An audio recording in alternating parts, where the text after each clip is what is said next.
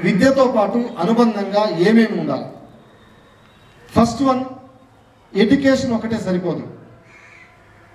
ఎడ్యుకేషన్తో పాటు ఐక్యూ లెవెల్స్ని పెంచుకోవాలి. ఐక్యూ ఇంటెలిజెంట్ క్వెస్ట్ అంటాం లేదా ఇంటెలిజెంట్ క్వశ్చన్ అంటాం. తెలివితేటలు అంటాం. అంటే వారి యొక్క ఆలోచన పరంగా కావచ్చు చదువులో కావచ్చు తెలివితేటలను పెంచుకోవాలి.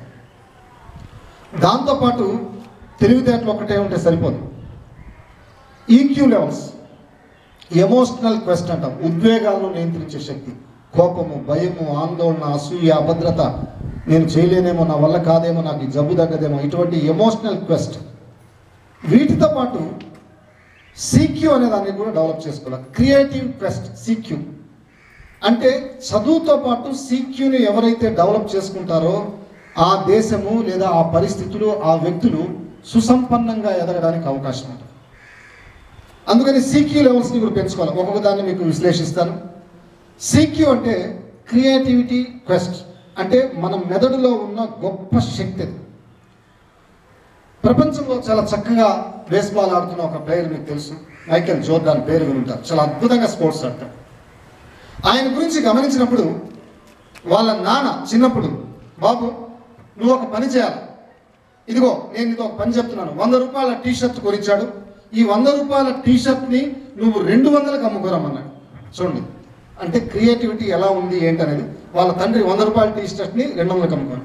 ఆడేం చేశాడంటే ఆ టీ షర్ట్ని రెడ్ టీ షర్ట్ని తీసుకెళ్ళి ఊరంతా తిరుగుతూ తిరుగుతూ ఉదయం నుంచి రాత్రి వరకు తిరిగాడు తిరిగాడు తిరిగాడు తిరిగాడు. ఇదిగో వంద రూపాయల టీ షర్టు దీన్ని మనసులో అనుకుని రెండు వందలకి ఇస్తున్నాను రెండు వందలకి ఇస్తున్నాను మీరు కొనండి. రాత్రి వరకు కష్టపడి వాయిస్ ఇచ్చి ఇచ్చి ఇచ్చి లాస్ట్ ఎవడో వీడు తిరిగి తిరిగి అలసిపోయినట్టున్నారని చెప్పి రెండు వందల రూపాయలు కొనేసాడు వాస్తవం దాని వర్త్ వంద రూపాయలు. వాళ్ళ నాన్న దగ్గరికి వచ్చాడు. ఎలా ఉందిరా?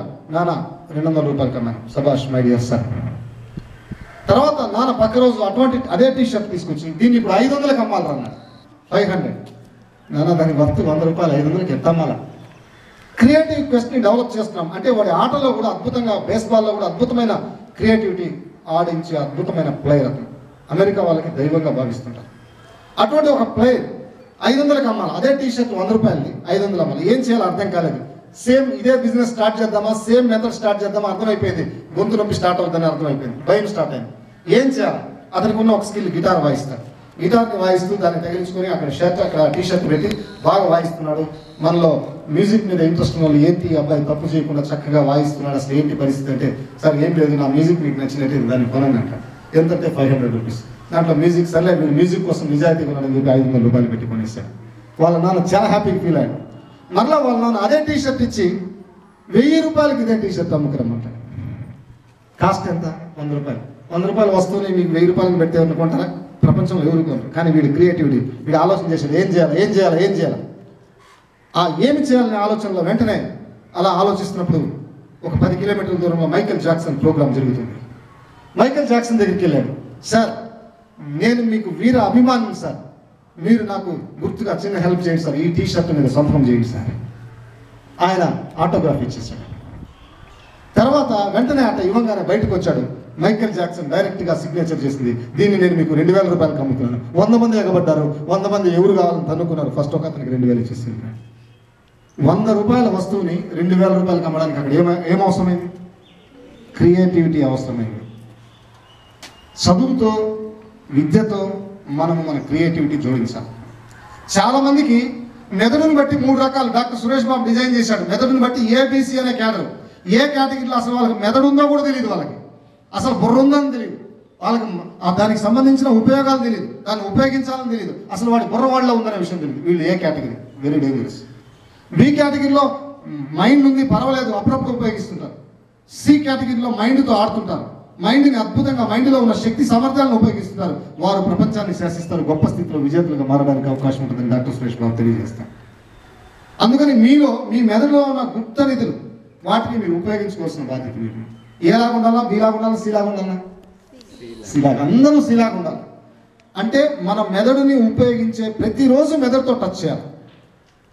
అన్ని మెదడు అన్ని అవయవాలు ఒకే విధంగా ఉన్నాయి సార్ అందువల్ల మెదడు కూడా ఒకటే అని చెప్పుకోడు అందుకనే దేవుడికి తెలుసు. ఈ మెదడుని తీసుకొని ఎక్కడ పెట్టాడు? ఆయనకు దగ్గరగా పెట్టాడు. ఆయనకు అందే ఎత్తులో పెట్టాడు. ఇక్కడ పెట్టలేదు. అంతే కదండి? మెదడుని తీసుకొని మోకాళ్ళ మీద పెట్టడం? కొంతమంది ఇప్పుడు ఇప్పుడు చెప్తుంటారు.